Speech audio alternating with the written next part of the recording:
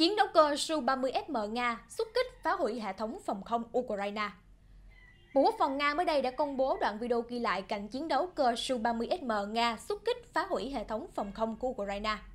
Các phi hành đoàn của lực lượng hàng không vũ trụ Nga trong quá trình thực hiện nhiệm vụ đã phát hiện và phá hủy một trạm radar cũng như hệ thống tên lửa phòng không Bút M1 của Ukraine. Thông báo Bộ Quốc phòng Nga cho biết, được biết chiến đấu cơ thực hiện nhiệm vụ này là những tiêm kích đa năng Su-30SM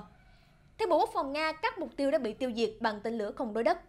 Trước đó, Bộ Quốc phòng Nga cho hay các hệ thống phòng không của nước này đã bắn hạ một máy bay Su-27 của Ukraine tại khu vực định cư Novomykhailivka, Donetsk.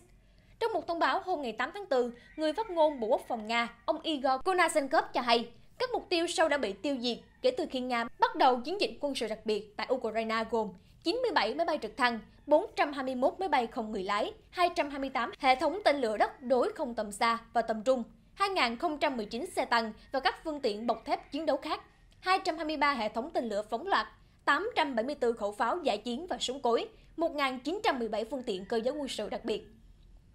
Theo ông Kona Senkov, trong ngày 8 tháng 4, các máy bay của lực lượng không quân Nga và lực lượng tên lửa đã xóa sổ 80 cơ sở quân sự của Ukraine.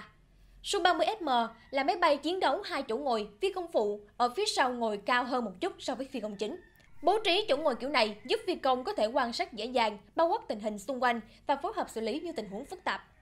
Là một chiếc tiêm kích đa dụng, ngoài khả năng cơ động và không chiến linh hoạt, Su-30SM còn có thể thực hiện các cuộc tấn công trên đất liền và trên biển, cũng có thể thực hiện các sứ mệnh chống tác chiến điện tử và cảnh báo sớm. Sức mạnh của máy bay được đánh giá là tiệm cận với máy bay chiến đấu thế hệ thứ 5 và thua đôi chút so với Su-35 phiên bản đời đầu, trong khi có giá cả dễ chịu hơn.